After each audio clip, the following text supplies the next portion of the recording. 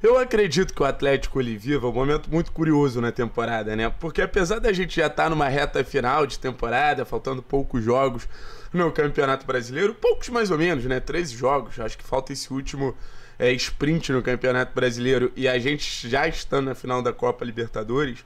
É, algumas situações já deveriam estar definidas, mas muito pela questão da Libertadores, é um Atlético que ainda busca algumas soluções é, para surpreender o Flamengo. Porque é o que eu falo para vocês, não adianta você chegar num jogo contra o Flamengo só com seu plano A.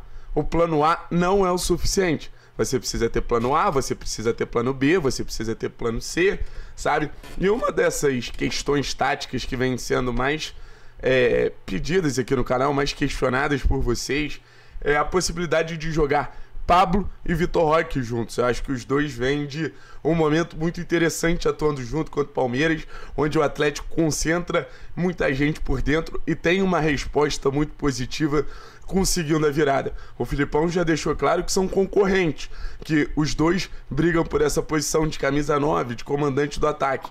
Mas eu, Thiago, eu vou um pouco a contramão do Filipão. Óbvio que o Filipão sabe muito mais de futebol do que eu, mas eu enxergo que é sim uma possibilidade de você ter Pablo e Vitor Roque juntos, sabe? E eu vou tentar explicar isso para vocês nesse vídeo. Vou mandar um salve para as marcas que estão aqui com a gente, mandar um salve para KTO, Evolução Pisos e United Gym, parceiraças do canal 3 Pontos. E vamos botar o campinho na tela, porque a gente vai precisar do campinho para ilustrar exatamente o que a gente quer falar. E eu botei na tela o time que enfrentou o Palmeiras nesses dois jogos. Você tem é, o quarteto defensivo, com quarteto não, né? Quinteto, com Bento no gol, Kelvin na lateral, Pedro Henrique, Thiago Heleno e Abner. Aí você tem no meio campo Hugo Moura, Fernandinho e Alex Santana. Na frente, Vitinho Canóbio e Vitor Roque. O que fazer para poder contar com o Pablo? Onde o Pablo encaixaria? O Pablo ele já foi ponta esquerda, por exemplo. Você pode pensar na saída do Vitinho e na entrada do Pablo? Pode, é uma situação sabe? É uma situação, não vou falar que não é. O Vitor Roque, ele começa a temporada com, lá no Cruzeiro como ponta direita. Pode ser o Vitor Roque de ponta direita e o Pablo no comando do ataque? Também pode. Mas eu acho que existe uma situação. É, botando algum dos dois jogadores pelo lado do campo, eu acho que o Atlético ele perde muito em recomposição. Porque nem Pablo e nem Vitor Roque, apesar do comprometimento muito grande desses jogadores ajudarem no jogo sem bola, não é o perfil deles, não é a característica deles. Eu acho que esse é um ponto interessante, sabe? Então, por exemplo, se for o Vitor Roque aqui pelo lado direito, quando o Atlético baixar as linhas, o que vai acontecer? É, beleza, o Atlético contra o Flamengo, sei lá, ponto contra o Flamengo. Você baixou as linhas aqui trouxe o Vitinho para cá. O Pablo vai ficar aqui mais pressionando desse lado. E o Vitor Roque, ele vai ter que voltar para ajudar o Kelvin, sabe?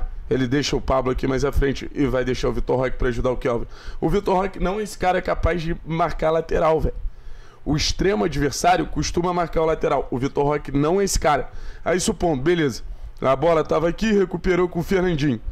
O sprint que o Vitor Roque vai ter que dar para sair dessa, dessa fase defensiva e chegar até a nossa área, já cansou ele, já desgastou ele.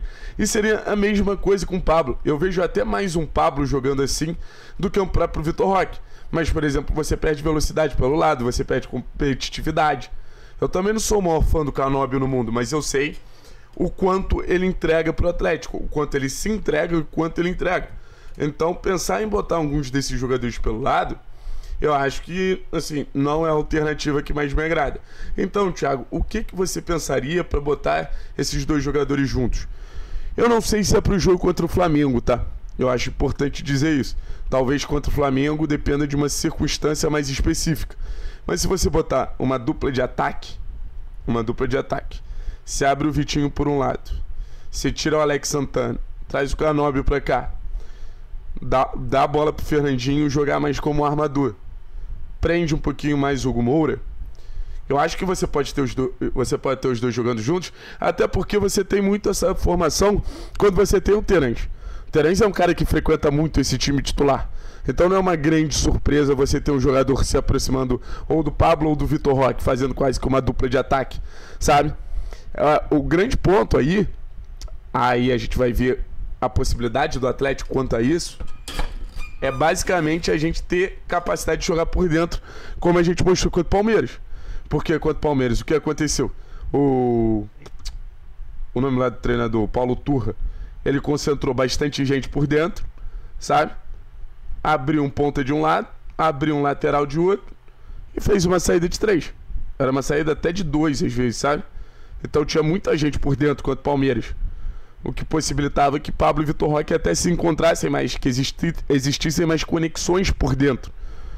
O grande problema de jogar por dentro é você não ter um jogador habilidoso o suficiente, com capacidade de jogar em espaço curto, isso é muito mais difícil você produzir linhas de passe. Isso é muito mais difícil você produzir conexões. Mas se você tem mais gente por dentro, a sua intenção é jogar por dentro, eu acho que essas interações, eu acho que essas conexões, elas acabam ficando mais fáceis, sabe? E você pode ter, em algum momento, Vitor Roque encontrando Pablo e Pablo encontrando Vitor Roque, como foi no jogo contra o Palmeiras. Existe até uma falsa impressão que o Vitor Roque seria esse cara de mais movimentação e o Pablo esse cara mais fixo na área, né? Porque você tem o, o Vitor Roque mais com perfil de ponta, perfil físico. Pablo é mais esse perfil de centroavante, né? Mas é curioso, se você pegar a média em participação dos dois, é um Vitor Roque que participa muito pouco dos jogos. É um Vitor Roque que participa cerca de 3, é, dá 3, 4 passes por jogo. E o Pablo dá cerca de 15 passes por jogo. Se fizer uma média de Campeonato Brasileiro e Copa Libertadores.